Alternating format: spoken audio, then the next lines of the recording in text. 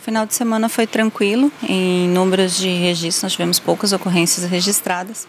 Tivemos um acidente na Avenida 9 de Maio, no centro, onde, segundo o condutor de um veículo, ele trafegava com seu carro na via quando uma motocicleta veio na calçada em sentido contrário, em alta velocidade.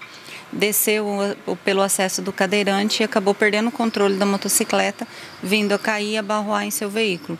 Foi feito o teste de alcoolemia e constatado 0,45. Ele foi conduzido para a delegacia para para os procedimentos lá. Tivemos ainda a recuperação de um veículo, uma motocicleta bis que tinha, havia sido furtada há alguns dias, foi recuperada próximo à ponte da Juruena, com graças ao apoio da população que entrou em contato via 190 e informou que o veículo estaria lá é, parado. A guarnição foi até o local, constatou que se tratava de produto de furto, conseguiu acionar o proprietário que foi lá e recuperou o seu veículo.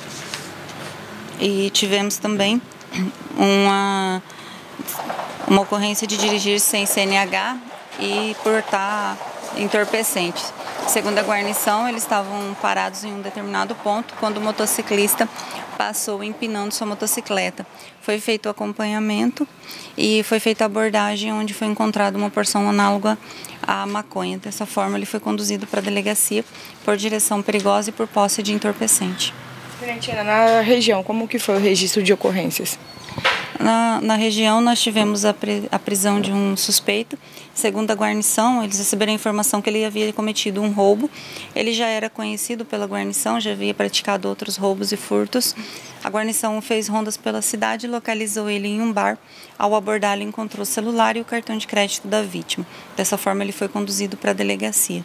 Nós tivemos um homicídio aparentemente um homicídio em Três Fronteiras, contudo, a Polícia Militar não tem muitas informações, foi repassado para a Polícia Civil para que faça o local de crime.